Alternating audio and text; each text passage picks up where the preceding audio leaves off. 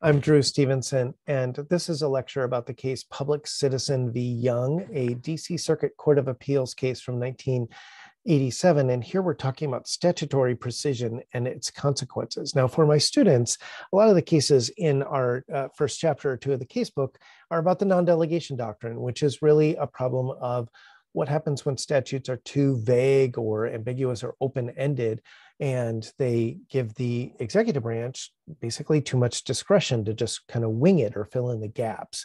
And so here we're talking about the opposite problem. What happens when we have a statute that's uh, very specific and doesn't allow any flexibility, and then the agency is do we expect the agency to rigidly follow it? And so um, the the intuitions here are sort of reversed from a lot of the other cases that we study in our course where courts are concerned about agency overreach and here they're worried that the agency is not doing enough. So uh, let's look at the case and see what happened. It's interesting in that sense. It's a nice counterexample so public citizen is a consumer advocacy group that was founded by, by ralph nader and they challenged the food and drug administration's decision to list two color additives as safe. And there were also some others listed as provisionally approved. And it did this under a theory that the cancer risk was de minimis uh, for these two color additives, though not zero. And in terms of main takeaway here, uh, just to ruin the surprise, the DC Circuit held that the enabling statute basically did not allow the FDA to make these exceptions. In other words, they're trying to force the agency to follow the statute more rigidly. Um, these dyes uh, that, that, we're concerned about in this uh, case are in cosmetics like lipsticks, face powders, and rouges, hair cosmetics and nail products, um, bath washes, and so forth. Um, and a scientific review panel had found the lifetime cancer risks of these dyes to be statistically small. Orange number 17, which is pictured on the next slide, was one in 19 billion at worst, right? And so you're you could use it a lot, and your chances of getting cancer from it were only one in 19 billion. And red number 19, which is pictured here, notice it's a green, it's green when it's in powder form or looks green, but when you dissolve it, it's kind of this vibrant, almost a reddish purple, and that was one in nine million. Um, the FDA had kind of come up with some things that present a one in a million risk. That's a nice a round number as a, comparison. And so, for example, if you, what's something that creates a one in a million risk of cancer? Eating one peanut every 250 days, or spending one day in Denver um, uh, a year. Eh, that um, just because of the radiation from the sun and so forth. Um, so it's a uh, one in a million risk. And um, to put this in perspective, that's a, a, tiny fraction of the risk that an average male smoker is taking uh, for getting cancer, one in uh, 200,000th, the court points out. Now, let's talk about our statute. And the statute is kind of causing the problems here. Um, and uh, so, so, for all of our uh, statute cases we study about vague statutes and the non-delegation doctrine and uh, you may be wondering as a student why doesn't congress just make um, statutes more specific and spell out what they want and then the agency could just mechanically follow that? Well this is a case about how that can go wrong.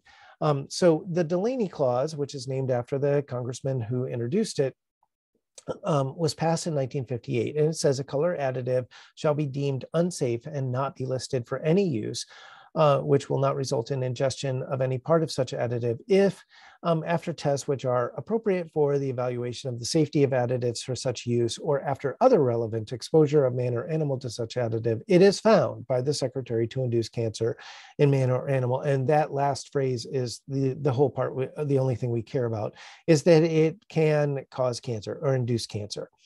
Um, and so we have a couple of problems with this. Uh, the number of potential food additives has increased dramatically since 1958. Probably in 1958, uh, Congress was thinking about the things that would be like listed as ingredients, right? So if you uh, hold up a, a bottle of something or can of something or package of something uh, in fine print it lists the, stuff that they put in kind of almost like the recipe right and as um, but as with improved technology chemists can uh, put stuff in a machine and detect trace amounts sometimes down to the molecular level of chemicals in food So let's say you buy a, um, uh, a, an apple pie, right? Well, the apples that they they may just say we put apples and nothing is in here except the fruit, but the fruit itself contains trace amounts of pesticides and fertilizers and uh, things like that.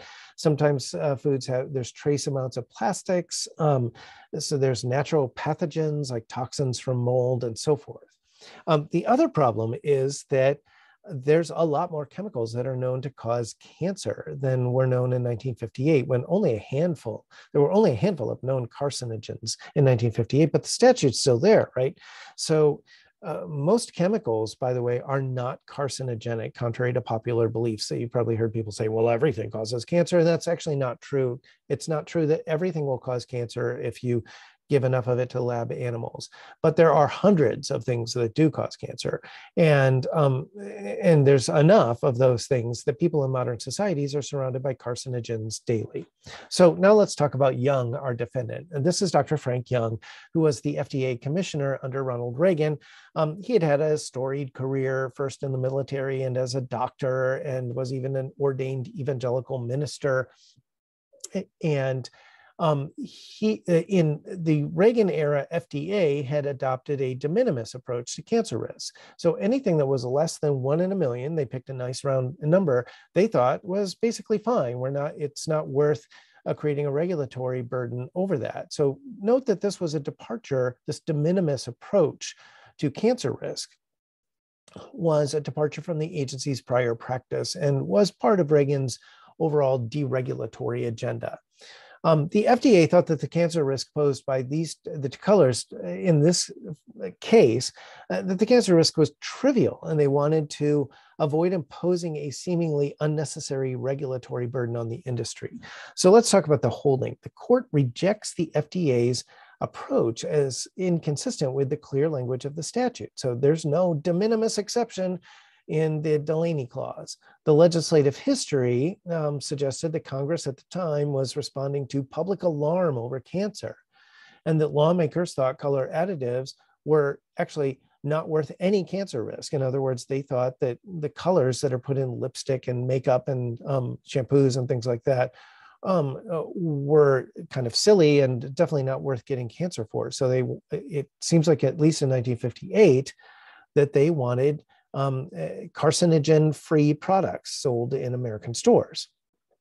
The legislative history also indicated that the FDA would seek revisions of the law as necessary. And note that the FDA hadn't done that. They hadn't gone back to Congress and said, by the way, the technology has evolved. And so now we have a problem with the wording when it talks about food additives that now we can detect like trace amounts of things that we couldn't before. So we you need to kind of eh, define additive a little more clearly. And you may want to uh, define uh, carcinogen um, a little more precisely as um, uh, something that's not a really remote risk. I um, pulled out a quote for you uh, that sort of captures the court's reasoning. The Delaney clause of the color additive amendments uh, does not contain and even an implicit de minimis exception for carcinogenic dyes with trivial risks to humans we base this decision not on our understanding that Congress adopted an extraordinarily rigid position, denying the FDA authority to list a dye once it found it to induce cancer in animals in the conventional sense of the term, right? Um, uh, in other words, they thought that Congress had meant to be uh, uh rigid and uh, even if it seemed unreasonable. We believe that in the color additive context, Congress intended that if this rule produced unexpected or undesirable consequences, the agency should go to Congress, should come to it for relief. But that's not what they did. They just adopted kind of a, um, a, a de minimis rule and gave people a pass. The moment that may, moment may well have arrived, but we cannot provide the desired escape. In other words, the courts, it's not the court's job to go to Congress, petition Congress for the agency. Now, um, in terms of an epilogue, Congress did fix this after this case, uh, about a few years after this case. So the Food Quality Protection Act of 1996, which was when there was a Republican-controlled Congress, was a workaround for the Delaney Clause. It, it, they didn't exactly repeal the Delaney Clause, but the amended act excludes pesticide residues from the definition of food additive.